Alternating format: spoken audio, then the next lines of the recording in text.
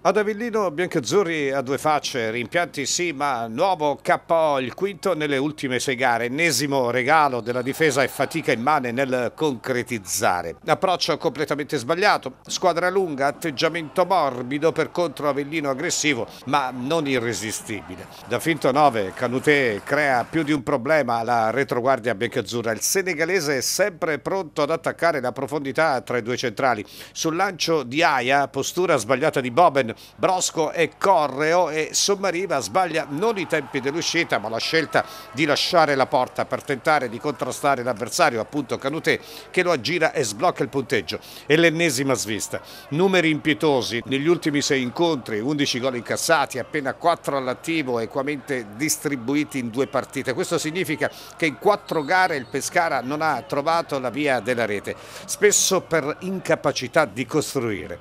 Ad Avellino invece diverse occasioni occasioni concentrate soprattutto negli ultimi 30 minuti di una partita che i biancazzurri avrebbero senza dubbio meritato di pareggiare.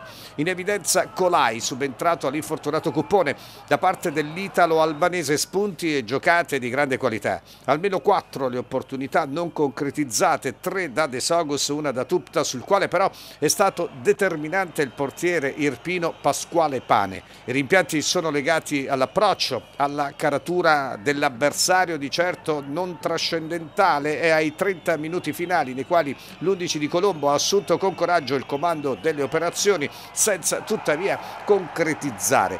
Il momento no continua, l'involuzione di natura tecnico-tattica, l'aspetto psicologico è solo conseguenziale, non può essere mai la causa scatenante. Il Pescara non è più quello di prima, quando probabilmente ha fatto molto di più di quanto sarebbe stato lecito attendersi. Appena un mese fa, prima dello scontro scontro diretto. Il Pescara era a sole tre lunghezze dalla capolista Catanzaro. Dopo sei partite il distacco è salito a 16 punti. 10 invece le lunghezze di ritardo dal Crotone. Da gennaio in poi, passando per il mercato, l'obiettivo sarà quello di difendere e consolidare il terzo posto.